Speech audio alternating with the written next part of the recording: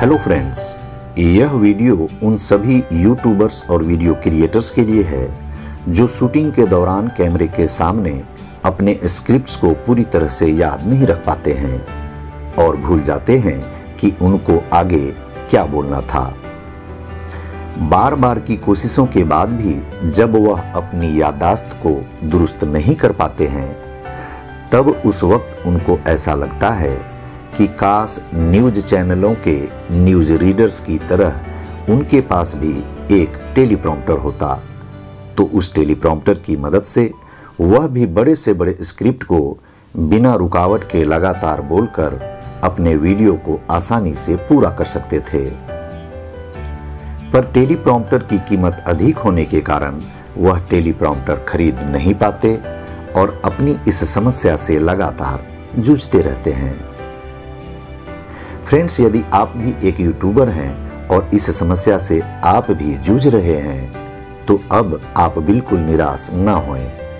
क्योंकि इस वीडियो में मैं आपको यह बताने वाला हूँ कि सिर्फ़ सौ रुपये की लागत से आप अपने घर पर ही टेलीप्रॉम्प्टर बनाकर उसका इस्तेमाल कैसे कर सकते हैं। इसको बनाने में आपको सिर्फ़ 10 से 15 मिनट का समय लगेगा, पर इसका इस्तेमाल आप वर्षों तक बहुत आसानी से कर सकते हैं। तो आइए देखते हैं कि इसे कैसे बनाना है। फ्रेंड्स, टेलीप्रॉम्प्टर बनाने के लिए आपको बेहद आसानी से मिलने वाले केवल चार सामानों का इंतज़ाम करना है। उनमें से एक है 10 इंच बाई 10 इंच का एक यूज़ किया हुआ पेपर बॉक्स या कार्टून। जो किसी भी किराने की दुकान या जनरल स्टोर से महज दो से पाँच रुपए में आपको मिल जाएगा। दूसरा सामान है फेविकॉल। यह स्टेशनरी की दुकान या किसी जनरल स्टोर से आपको 10 या 20 रुपए में मिल जाएगा। तीसरा सामान है काले रंग का कागज़। यह भी आपको स्टेशनरी की दुकान पर ही पाँच से दस रुपए में मिल जाएगा। टेलीप्रॉम्प्टर बनाने के लिए जो चौथा और आखिरी सामान चाहिए, वह है 10 इंच बाई 6 इंच का आर पार दिखने वाला एक ट्रांसपेरेंट कांच या शीशा, जो आपको किसी भी फ़ोटो फ्रेम करने वाले की दुकान से लगभग 40 से 50 रुपए में आसानी से मिल जाएगा। बस इन्हीं चार सामानों से आप अपने घर पर ही सौ रुपये से भी कम की लागत में टेलीप्रॉम्प्टर बना सकते हैं। तो आइए शुरू करते हैं। सबसे पहले पेपर बॉक्स के फोल्ड होने वाले हिस्से को काट कर अलग करना है।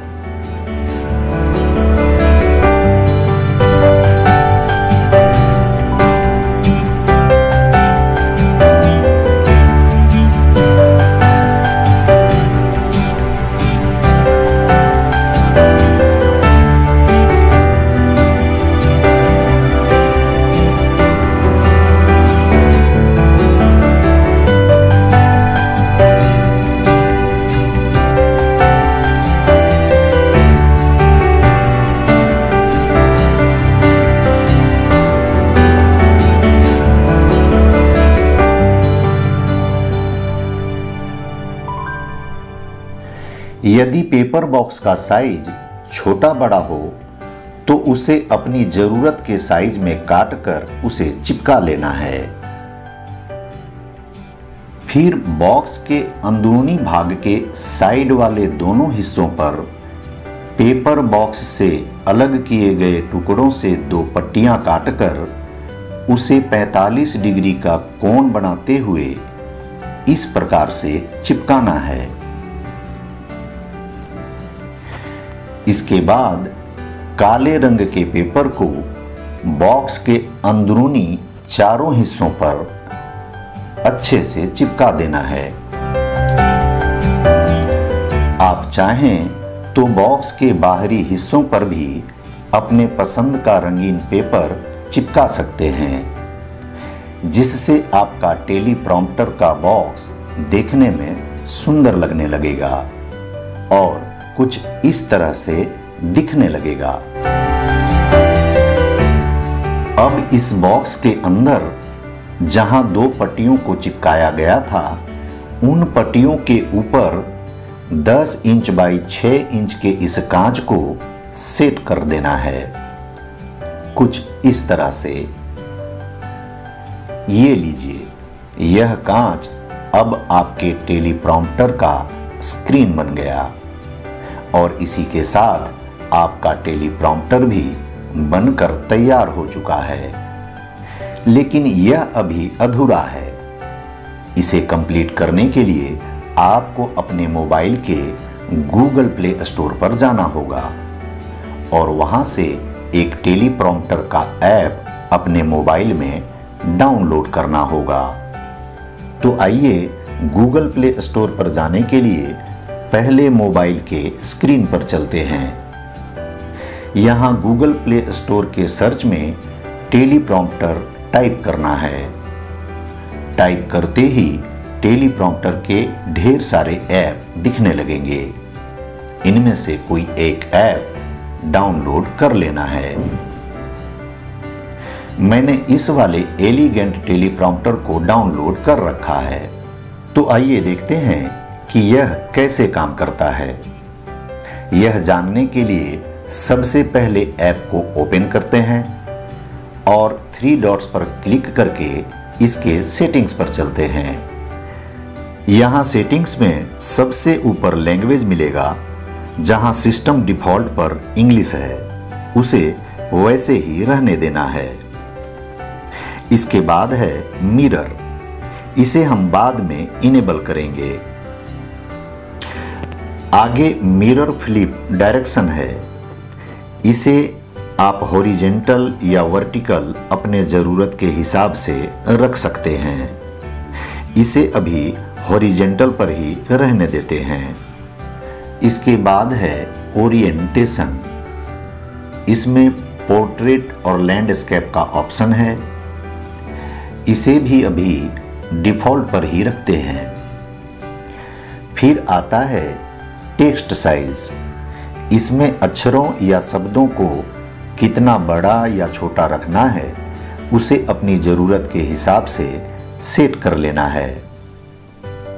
फिर है लाइन स्पेसिंग। इसमें टेलीप्रॉम्प्टर के स्क्रीन पर आने वाली लाइनों के बीच आपको जितना स्पेस रखना हो, उस हिसाब से आपको साइज़ सिलेक्ट कर लेना है।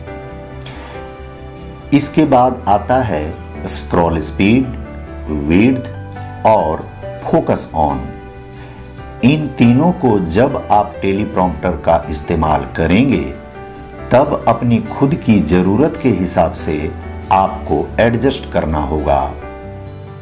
जब आप इसका इस्तेमाल करने लगेंगे, तब आपको खुद से समझ में आने लगेगा कि आपके लिए स्क्रॉल स्पीड क्या होना चाहिए। विड्थ कितना रखना चाहिए और फोकस ऑन कहाँ तक रखना है? आगे है रिमोट सेटिंग। चूँकि रिमोट का इस्तेमाल हम नहीं कर रहे हैं, इसलिए इसको छोड़ देते हैं। आइए अब सबसे आखिर में यह देखते हैं कि आपको अपना स्क्रिप्ट कहाँ और कैसे टाइप करना है। यह बहुत ही आसान है। आपको इस प्लस वाले चिन्ह पर क्लिक करना है। क्लिक करते ही दो ऑप्शन दिखाई देंगे। क्रिएट न्यू स्क्रिप्ट और इंपोर्ट टेक्स्ट। यदि आपको नया कोई स्क्रिप्ट, डायलॉग या गाना या कुछ भी क्रिएट करना है तो उसे क्रिएट न्यू स्क्रिप्ट पर जाकर टाइप करके उसे सेव कर लेना है। और यदि आप पहले से लिखी हुई किसी स्क्रिप्ट को किसी दूसरे ऐप से लेना चाहते हैं तो उसे इंपोर्ट टेक्स्ट पर जाकर वहाँ उस स्क्रिप्ट को सर्च करके इंपोर्ट कर लेना है। मैंने क्रिएट न्यू स्क्रिप्ट में पहले से कुछ टाइप कर रखा है। चलिए उसे ओपन करते हैं। यहाँ आपको एक आखिरी सेटिंग भी करना है। बाईं तरफ़ दिख रहे इस मिरर के आइकॉन पर क्लिक करके उसको इनेबल करना है, जिसे हमने सेटिंग में इनेबल नहीं किया था। मिरर इनेबल होते ही आपका स्क्रिप्ट आपके मोबाइल पर उल्टा दिखने लगेगा। अब इसे अपने टेलीप्रॉम्प्टर के स्क्रीन के सामने रख देना है और प्ले कर देना है। लेकिन इसे प्ले करने से पहले चलिए एक बार कैमरे की सेटिंग को भी देख लेते हैं। कि टेलीप्रॉम्प्टर के साथ कैमरे को कैसे सेट करना है?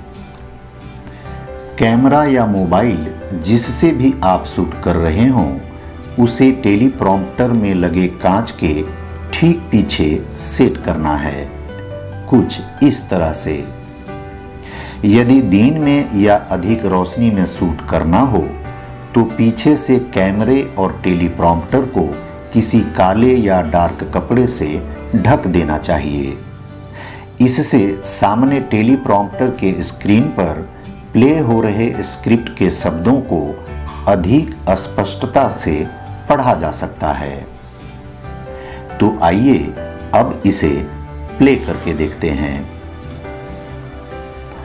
आप देख सकते हैं कि प्ले करते ही मेरा टाइप किया हुआ स्क्रिप्ट मेरे द्वारा निर्धारित किए हुए स्पीड से ऊपर की ओर स्क्रॉल हो रहा है।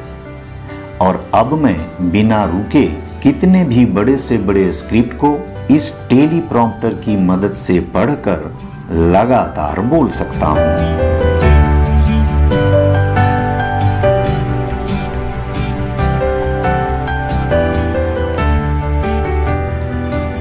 तो फ्रेंड्स सिर्फ़ सौ रुपये में अपने घर पर ही खुद से टेलीप्रॉम्प्टर बनाने का यह आइडिया आपको कैसा लगा? यदि यह वीडियो आपको अपने काम का लगा हो और पसंद आया हो तो कृपया आप मेरे चैनल को सब्सक्राइब कर लें, ताकि मैं इसी तरह आपके काम की जानकारियों को देसी जुगाड़ में परिवर्तित कर आपके समक्ष प्रस्तुत करता रहूँ। धन्यवाद।